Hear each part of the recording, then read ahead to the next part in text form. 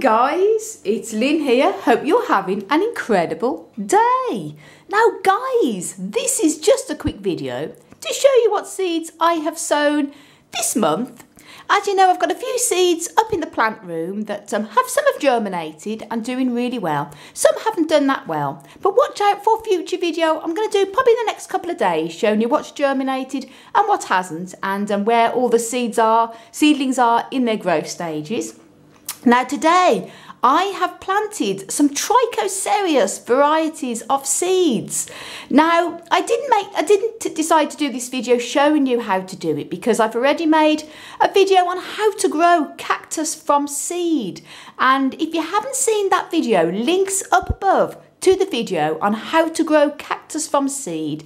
There it shows you step-by-step -step stages on how I sow the seed and um, what I do to um, to grow cacti from seed, I sterilise the soil in the microwave and this isn't necessary but it always helps, it can help to prevent fungal attacks and that so I always think it's a bit of a bonus and obviously I mix a bit of extra horticultural sand in with a seed sowing compost, a loam based seed sowing compost such as John Innes for example. And um, then I use the baggy method because this helps to keep the humidity in and also it helps to um, prevents them from drying out too fast as well. And I keep them sort of in the baggies until they're big enough to come out, usually sometimes even up to a year.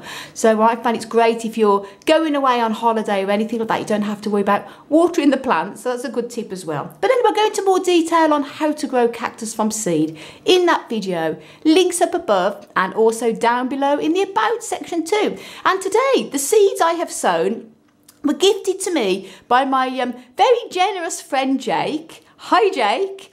And I met Jake actually at the Cactus Society meeting in Dublin last month. Actually, it was this month, I should say, March's meeting a couple of weeks ago.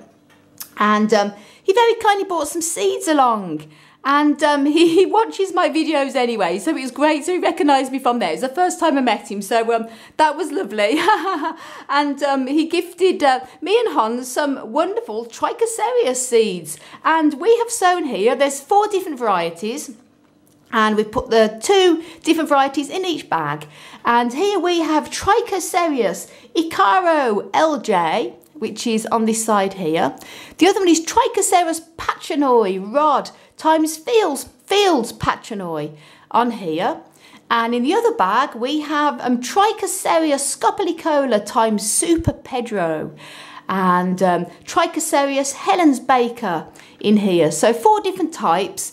And um, Jake is a big Trichocereus um, lover of cacti. He has some amazing varieties in his collection. So that's great. Um, always wonderful as well to exchange seeds with other growers. It's so much fun. So much fun. and um, exciting growing from seed as well.